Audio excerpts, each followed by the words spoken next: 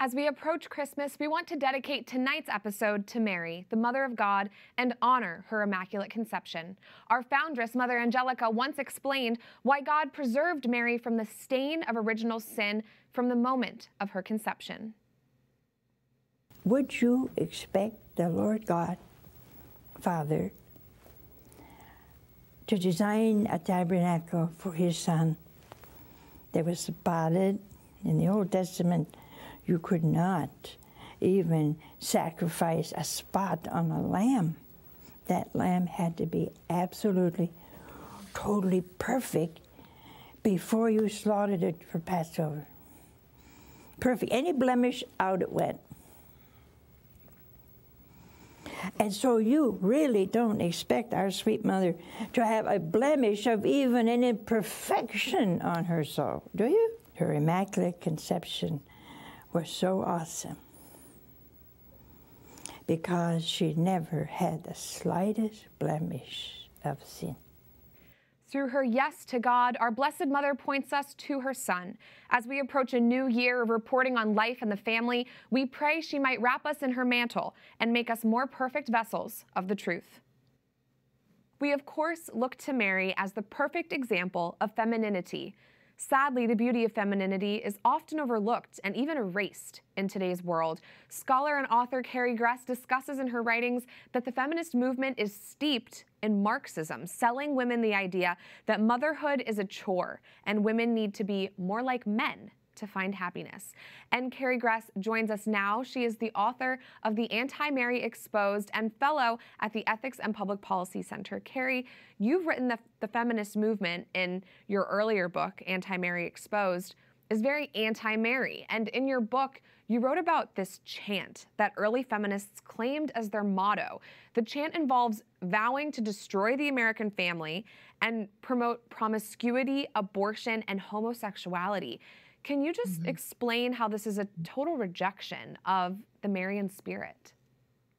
Yeah, no, I, I, think this was a startling chant, and you know, everybody who hears it is, um, you know, sort of blood chilling because of the fact that it's um, it's so powerful and it's been so effective too right. uh, in terms of really turning the culture against the family. Um, the, the real target was the, what the patriarchy in this chant was to try and take away the authority from men and really shift it to women. And um, this again was was the Marxist effort really to try and masculinize women. And I think that's that's a question that fem, that feminism has been asking from the beginning: is how do we make women more like men with the mm-hmm. perception that men actually had a, a, better, easier life. And so that was what this was promoting. And, you know, if you think about it, it was back in the early 1970s when this chant was was being said by Kate Millett and others.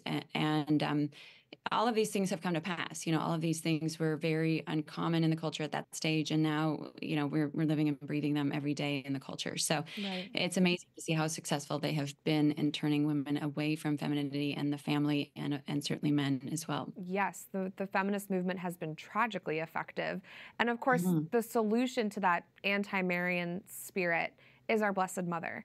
How can our society mm-hmm. turn to Mary to solve this crisis that we're now in because of the feminist movement?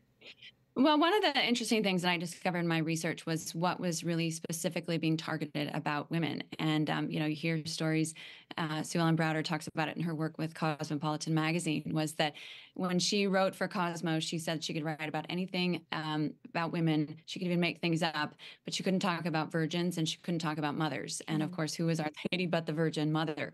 Um, so that's who's really being targeted in this. And I think that if you look and see what's happened to the culture. You know, one of the things that happens when you take women out of the picture is it's very difficult for people to understand a relationship with Our Lady and and certainly with God and these feminine attributes of that motherhood can can bring to people this kind of nurturing loving, very healing kind of um, love that women offer to, to people. And so when you take Mary out of the picture and when you really target this aspect of the maternal in women, then you're going to be left with a society that's limping, that's, you know, that's broken, that doesn't really know what it means to be loved in a properly ordered way. Um, nor do we know how to, to reach back to God through Our Lady, through her intercession. Right. Uh, because as a symbol of motherhood, as that's destroyed, that icon is destroyed, it makes it much more difficult to reach back to Jesus. Well, absolutely. And motherhood is the foundation of our society in many ways. Our society depends on mothers. Carrie, what can Mary teach our culture about being a mom? You know, I think one of the things that's really remarkable about motherhood is that it automatically makes you very vulnerable.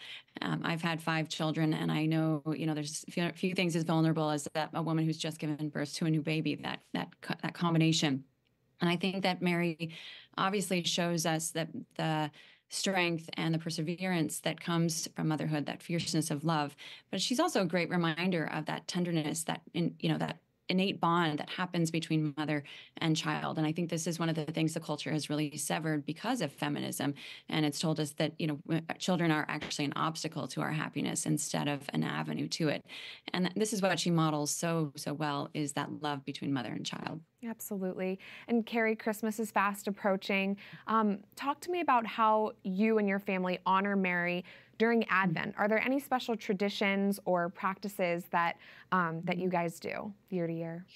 You know, I think Advent is such an amazing time, certainly for my family, but just for the church in general, because the fact that it's the one time of year that we actually get to see Catholic culture in its glory. You know, everywhere we look, whether it's nativity scenes out on roads and, and in front of churches and places like that, Christmas lights, all of that decoration. Um, we of course you know do a lot of the, those great stables we have a nativity scene in our home and uh, you know all the advent um, candles and the Jesse tree, those kinds of things we've added onto it and just try, try and understand salvation history. Um, but I think even more so, really, I, what I'm trying to impress upon my children is the beauty of the Holy Family and that that you know the genius of God in terms of making allowing God to come into the world through a family and the protection of Joseph and the the love of Our Lady and that the, the, way that they all really fit together in this incredibly beautiful way that I think is so lost in the, the culture today. So yeah. that that's really what we're we're focusing on. And I know I'm spending a lot of time meditating on that myself in terms of how do we reclaim some of this and and bring you know bring this back to our own culture not just at christmas but year round? It's beautiful. And carrie again christmas is around the corner. And i know after the anti-mary exposed you published another book just this year. Um, would you like to share a little bit about it in case anybody's looking for a last minute christmas present for someone Sure. Yeah. This is uh, this book is kind of a prequel almost to the Anti-Mary Exposed. It's called The End of Woman, and it uh, is basically a, a, secular argument for understanding what's happened with women and the way in which feminism has really damaged not just women but men and children and the whole fabric of of society. And uh, you know, I think it's a, a, book like this can be challenging because um, there's so many harsh elements of it. But the last chapter really ends on I think a beautiful reflection on women that I've had people say they just cried through the whole last chapter because it was so beautiful to see really what women can be if we allow them to be women instead of telling them to be like men. Yes, absolutely. It's a very powerful book. I encourage all of our viewers to check it out. Carrie Gress, author and fellow at the Ethics and Public Policy Center. Thanks as always for joining us. Merry Christmas. My pleasure. Thank you. Merry Christmas.